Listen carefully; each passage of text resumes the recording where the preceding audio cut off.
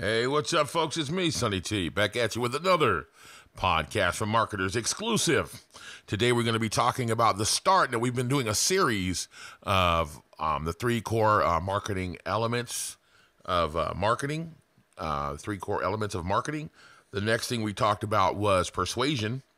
And today, I'm going to start trying to putting it together for you to make you understand, or excuse, not make you understand, but starting to see if you can understand where I'm coming from here. So don't forget to come join the squad at funnelhackerpro.com, Stealthy Millionaire on Instagram, Funnel Hacker, or excuse me, Podcast for Marketers on YouTube, Billionaire Vids on Snapchat, Billionaire Vid on Twitter, podcast from marketers.com. A lot of guys ask me, where can I go see the rest of your shit? Right here at podcastformarketers.com. There's a free MP3 player. You need to pay for your fucking shipping. And I am and I do have a social media marketing agency course that kicks the Tai Lopez course right in the fucking pants because it's much more than that. You learn how to be a media buyer. Smash that thumbs up, man. Let me know you really like the fucking video and sub. Fuck him. Subscribe to the channel if you like the content. I promise I won't waste your time. I do videos every day. Boom. Except for Sunday sometimes, right? Let's get down to the class. So, um, today, this is really the order of importance. But before I tell you about that, um, I wanted to tell you about um, the smart um, marketing funnel over here. These guys are always asking. Now, again, I say this every time. Yes, you can use this for your social media marketing agency. And in fact, today, this should be your presentation. This right here, the game that I've been giving you guys lately is, you know, if you guys notice, sometimes I give you very beginner stuff, right? And then sometimes I give you the big boy shit. And the reason why is because some people are more advanced in their marketing than others, or some just flat out don't know. And this should be the core of your marketing. But what I'm giving you now is a step above what everybody else will tell your clients, right?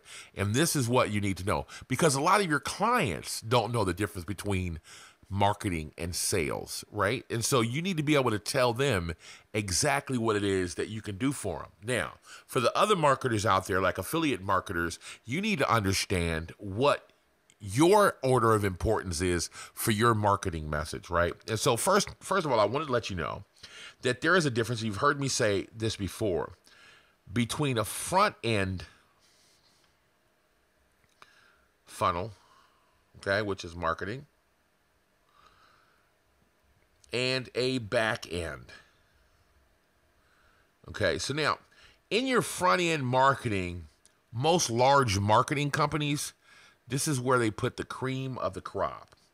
They put the best marketers right here in the front end marketing, right?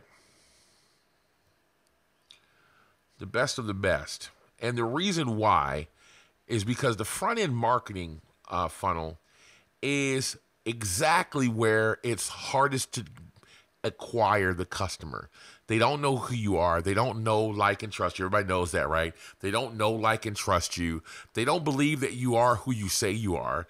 And you haven't proven anything to them yet, right? So those are the hardest people to convince to get in and do business with you, okay? Now, the front end marketing, the sole purpose of a front end marketing funnel is to acquire, oh, acquire even Sonny, new clients or customers. Okay. And this is just the front end, right? All you're trying to do is acquire the most customers as for more the most expensive as you can. You want to the, the one that pays the most for the client uh, clients wins the game. Okay, so to give you an example, um, I get a lot of clients from my YouTube channel, right? Um, and people come into my, you know, my funnel. People come into my, um, my group, and so on and so forth, right? But the guy that's actually paying big money, like ten dollars and twenty dollars, like these Frank Kerns and the people that you see running videos over the top of my video, If I don't run any ads, those guys are doing way better than I am because they're paying the most money, right? Now, when I run ads, if I'm only willing to spend $2 for a customer and Frank Kern is willing to spend four or five, well, he has more ads out there and he'll probably get more customers than I will, right? So that's the name of the game to acquire new customers. The back end of the funnel is basically to market to existing customers, right? And improve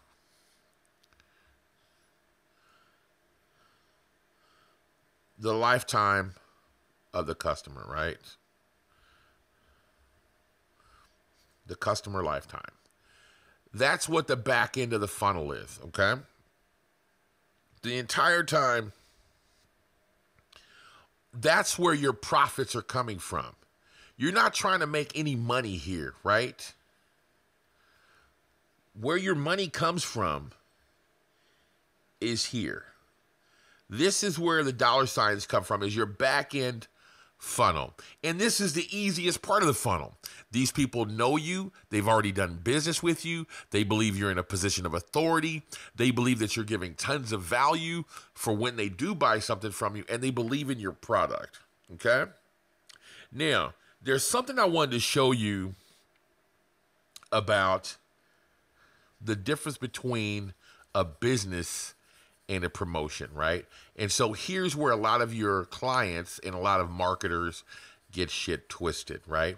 And here lately, I've had my own run in with affiliate marketing, okay? So when you have, and the only thing that you have are affiliates, okay, and joint ventures, okay, and people that are pushing your product, This is what you'll see in your graph when it comes to making money. You'll see spikes, right? And then you'll see another spike. And you see another spike. These right here, this ugly color. Oh, not pornos. Not pornos. yeah. Jesus Christ. Not pornos, guys. These are these are promos, right? You don't have a business. Now, what happens if these affiliate marketers and joint venture partners decide they don't want to push your, your product anymore? Are you not the new flavor of the month, right? Then the, even these spikes go away.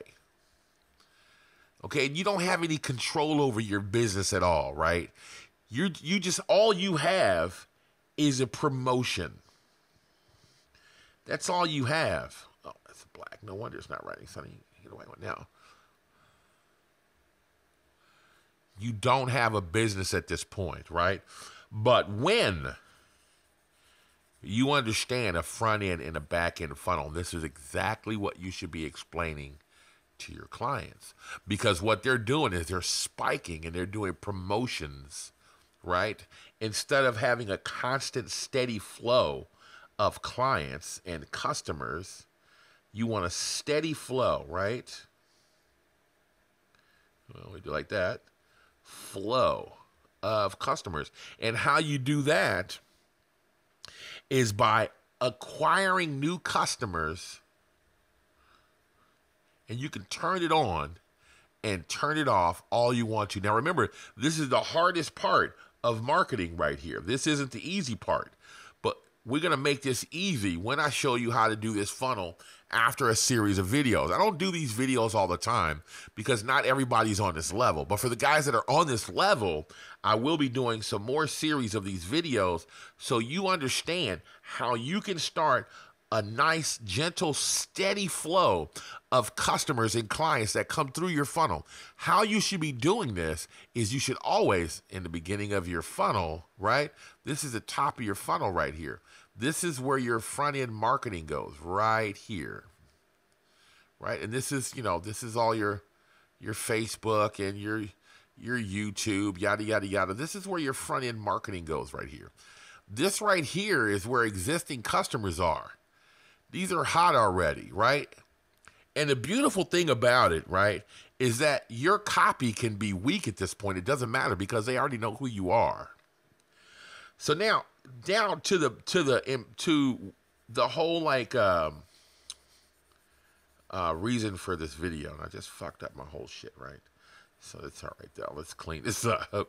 Just fuck this right up. All right. So now I wanted to talk to you really quickly about the order of importance to where you should be putting the most of your intention attention, excuse me. So order of whoa. What's that right there? That's weird. Okay. So I don't know and I don't care. So order of importance. And this is really important, right? So, the number one most important thing that you need to have for your clients or for your marketing effort is the list, right? Your audience. This is the number one thing that you need to pay attention to. All right, we'll even underline it here in red. This is the number one thing that you need to pay attention to in your order of importance in your marketing funnel. If you're talking to the wrong people, if you're trying to market uh, jujitsu uh, training to grandmas, you can have the best marketing funnel on the planet. You can have the best copywriters, Dan Kennedy, or even Gary Halbert has come from the dead to write your copy, and you're the best jujitsu dude on the planet, marketer dude, it would not matter if you start marketing to 60 year old grandmothers who are not into jujitsu, but they're into knitting, okay? Right? If you market this, to these people, you're a loser. That's it. And I don't care how good even your offer is, right? If you have the right off audience and you could have the weakest sales copy there is and it would still work.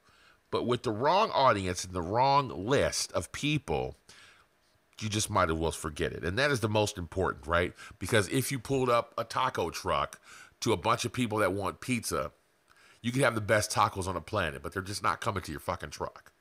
Okay? The next thing, and this is really important, and I talk about this even in my free video series, and I know people don't even pay attention to that free video series that I give away in my in the emails, right? If you're not getting that, um, well, you're just fucking missing out, right? Because this is huge. It's called the big idea. And what this is, is your marketing message. And it's not your offer, it is the idea behind why people are going to purchase from you. Okay? It's the big idea of what this is, right? And to give you an as example, because people don't really know, right? So uh, let's go here. Let's go. Let's go. It's the marketing message. Okay.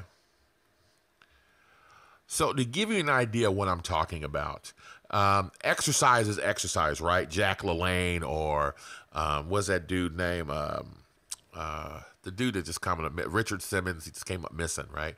Uh, he's just not in, in, the limelight anymore. But anyways, um, the reason I'm naming these people because these people are kind of just like vanilla, plain rapper exercise people, right? But why did the the P90X do so well? Right?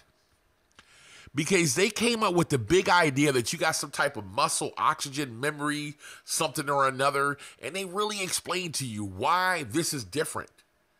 Why this this is going to work for you this time. They really explain that, right? They tell you what's different now and why the P90X, which is the big idea. This is your marketing message right here, right? Apple came out with an iPhone, right? Cell phones were not new at that point. But why was the iPhone different? It was the marketing message behind the phone that sold you everything. It's not if they just told you they had a cell phone, that'd be blue vanilla wrapper. It, it, you know, just plain generic phone. It doesn't matter. But it's the experience and the marketing message, the big idea behind the whole thing that sold you the entire shit. Okay? So that's the second most important thing in your marketing funnel. And I'm going to show you guys how to construct a marketing message and the big idea one of these days. okay? The number three item of importance, order of importance, the number three item in your list is going to be the offer.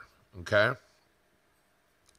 And you need to be able to construct an irresistible offer, right? You can have the shittiest copy, you can have the shittiest VSL, the, the shittiest sales letter, it doesn't matter.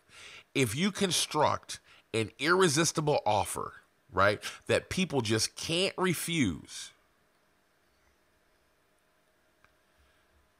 everything else could be weak, right? With the exception of this, we already know that this list and this audience can't be weak, right? But everything else could be weak.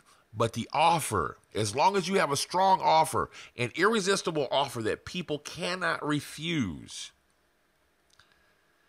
and I'll tell you how to construct an offer as well. But you got to have an offer that people can read. It's not just your product either; it's everything all together. Okay, it's what they're getting. It's it's it's the whole idea behind it. It's the idea behind the P90X. What am I getting? What is going to be the result of what happens after I use your product? That's all a part of the of the offer, right? What happens after I buy that new iPhone 8? or the new Samsung Galaxy 8 or whatever. That's that is a part of your offer. And remember, we talked about the emotional strings and why people buy. It's the entire marketing message, okay? And that's what comes offer comes off next. Now, I want you to know also when you come up with a good offer, you could just change the offer on any marketing funnel and change it to something awesome and triple your income. I've done it. Number four is what I call the marketing argument. And you guys heard me say this before, right? It's the marketing argument. And what this is, is remember, I told you that you need claims, and then you need to bag up those claims with proof. Okay? And then we need to sandwich it with, sandwich it, right? with Benny's. Okay? And remember, is Benny's Benny's claims proof. This is your marketing argument or your marketing sandwich. All right, if you want to call it that. And this right here comes right after the offer, right? So you make the art the offer and then you make your claims, your proof, your benefits and the benefits of the benefits then you come back again and you do it again. Claims, proof, benefits, and benefits of the benefits. Remember, we talked about this, and you sandwich it all together. So you got to be talking to the right people. You got to tell them about your big idea. You got to make them an offer they can't refuse, and then you need to argue to them why they can't refuse it. Are you guys seeing how this is building out right now? I'm hoping that you guys are understanding this, right? And the last thing that you would think is supposed to be the first thing is the copy. You see people all the time, man, spending hours upon hours upon hours. I once heard one guy say it took him six months, right? Sometimes I hear some of the copywriters said they took 18 months to write out four, 40 bullet points, right? Because a lot of people like bullet part marketing, bullet point marketing, right? 40 bullet points. They didn't write any copy, but they wrote bullet point after bullet point after bullet point. And that sounds asinine to me. The copy, and I know this to be true, is the last thing of the importance of everything. You could almost say anything as long as you have an awesome off, uh, offer and you come with a brilliant marketing uh, uh, argument, right? as long as you come with that marketing sandwich and an offer, the copy could almost be non existent. And I've done that before. I've had dummy copy. I've tested it before. I've had dummy bullet points that had actual, absolutely nothing to do with what I'm offering and what's on my uh, video sales letter. The, the, the bullet points mean absolutely nothing. And I get sales all the time. And why is that? It's because my offer is irresistible. They can't refuse the offer. So none of that other shit matters, right? And once I come with an argument, and I, I come with claims and I come with proof and I tell them the benefits of the benefits and hit those desires of their des- secret desires, then it doesn't matter what I'm saying. So you don't need to spend so much time here. You need to spend all your time here. This is what a big mistake I see people making. They have the wrong customers for what they're trying to do, right? And their ideas suck. They're they're fucking. We had somebody talk about the other day about um, uh, marketing in bloody waters, bloodied waters, right? And they have this book called The Blue Marketing Strategy or something like that. I have to get you guys a title, but it talks about having you know creating your own market or creating your own niche or a piece of the market right but when you come with a big idea no one can steal that right no one can take living la vida loca right nobody can take that it's already done and it's different isn't it nobody can take my 80 for 80 80% more information for 80% less than everybody else in the market, right? That's my whole fucking shit. No one can take that. It's a big idea and it's huge. And I deliver the goods. I give people an offer they cannot refuse. I give them claims, proof with testimonials, right? Benefits and benefits of the benefits. Oh, look at all of that, right? And my sales copy is weak. My video sales letters really are not all that brilliant, right? Because I pay more attention to who I'm talking to, you guys, right? I come up with big ideas, right? Living La Vida Loca. And then I give you an offer you can't refuse. I put together some kick ass material for a fraction of the cost of the rest of the market. But not only that, I deliver kick ass information, right? I'm not just tooting my own horn here. I'm not slonging myself. I'm just giving you an example of what I do, okay? Because you don't need to listen to what I say, you need to watch what I'm doing. That's the most important part, right? So in the order of importance, and this is when you're outlining things to your prospects, this is exactly how you should lay it out. Because most of them don't know this. Most of them don't even understand this. We, this is million dollar shit right here. This is advanced marketing. I'm telling you now, the average person, the average 15 year old, the average 16 year old, people your own ages, right? The average 16 year old, the average high schooler doesn't understand anything I'm telling you. And if you want to leg up in the market, if you want to knock off clients over and over and over again, this is your presentation. Coffee break.